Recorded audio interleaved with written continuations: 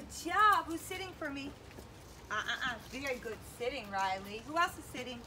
Who else is sitting? Cassie? Good girl. Good girl. Who else? Riggs?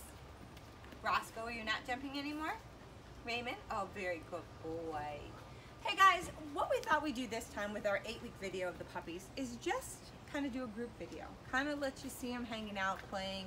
Um, it's often gets a little bit repetitive when we do the same kind of thing, saying, oh, this is this dog and this is that dog. I was going to talk a little bit about each one of their personalities. Uh, very good job, Riggs. Riggs is our Mr. Focus, as you can see. Um, he actually, he did very, very well. If you saw his one video where he did the focus work outside, first time out, he was awesome. He was amazing. Um, doesn't keep an attention span very well, but I think it's just, it all goes with the age and so forth. Little Ray, as we call him Little Ray, because he was the last one to be born. He is a little cuddle guy. He is one of those puppies that just wants you to kind of like love on him, be on him, right? He, he comes up to you, he'll show you his laying, which he was just trying to show me right now that I just got him. I know, he gives puppy kisses. He used to be the littlest, but now Cassie's the littlest, right? Everybody's going through their little biting stage right now at eight weeks.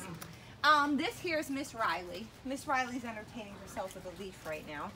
She is a girl who's a little bit, a little bit less impatient. Um, she's a, I see you, Riggs. Riggs keeps following because he knows that I have treats in my pockets. Uh, she knows her sit. She knows what she's supposed to do. She really, really does love to train. She's a very, very good girl, right?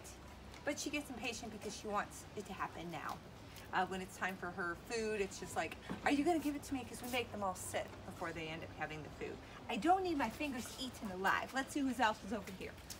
Ooh, let's see. Miss Caitlin's over here.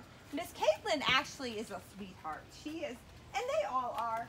Um, but she's a little girl that's just kind of, you know, she kind of hangs to herself. I'd say she's probably a little bit more of an observer.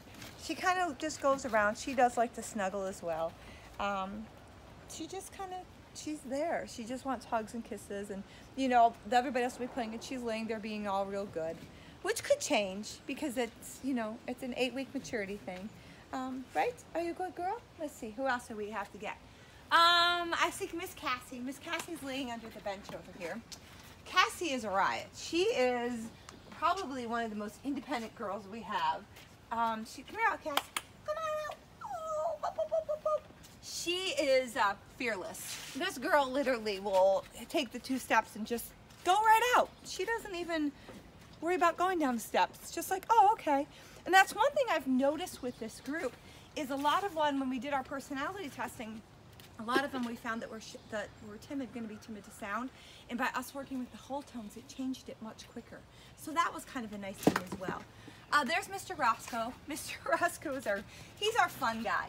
He's the one that just kind of looks for, hey, what can we do? And let's go get a ball and let's go do, he's, he's a, he's a backyard boy's dog, I guess I would call him that. Um, I think that's what Christina called him earlier. He's just one of those where um, if he poops, he'll come running up to you like, hey, guess what I did? Just a typical boy, right? You find him probably the mud puddles, eating bugs. In fact, he was the one, was he the one playing with the cicada? I think he was playing with cicada earlier and just barking at it and thinking it was just a riot. So he's a typical, typical boy, right? Okay, so who else, let's see, who do we have? We did, oh, Calvin, where's our Calvin Klein? Mr. Calvin is all, no, let's see, I think that's Raymond, isn't it? No, it's Calvin. Calvin! Hi, Calvin! What are you doing? I think Calvin's got to go potty, so we're going to make this quick so he doesn't pee or poop on me. Um, Calvin is probably the smartest lab that we'll have ever had here. He's doing things with like me, with Christina, um, that it was taking other puppies much, much longer to even pick up. Uh, the problem with, not problem, but with, with that comes a highly distracted dog. So it's one of those where he's very, very smart. Just think of that, you know, child that goes to school in in, uh, in kindergarten and they're actually, you know, going at a third grade level. They get bored very quickly. So he's going to need somebody to keep him challenged. Um, but he is a very, very sweet boy, right? He's also a pant leg biter for right now, right? You're a pant leg biter. I know. Tell everybody hello, right? And your buddy Cosmos over here. You can say hi to Cosmos. Cosmos has to get all of his puppies and say hello to everybody. Everybody loves Cosmos. That they get a little bit too much for him, so we have to kind of go through. So I think we've gotten everybody. We did Roscoe Raymond, Riley, um, Calvin, Cassie, and Caitlin. And that's all seven of our pups. They're wonderful. Um, is everybody coming back? Who's gonna sit? Oh, look at the laying from oh. Miss Riley and look at the sitting from Roscoe. And as you can see, Roscoe, look at that happy face. Good girl, Riley. And like I said, she loves the training. Just very, very impatient with getting her treats, right? Good lay. Who else can come here? Who can go here? Cassie, here, please. Hurry. What's next, baby?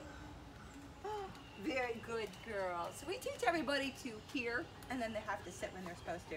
Our other bums are laying under there. I think our other ones are back playing underneath the tunnel. But thanks for watching, guys. And, uh, oh, here comes Riggs. Here, Riggs. What's next, buddy? Good boy. Sing, see, everybody can plop their butts on the ground. Oh, the queen bee. And like I said, this girl, look at, no fear whatsoever. She's absolutely adorable. She's got a super smooth coat, so it means she's going to be an active girl.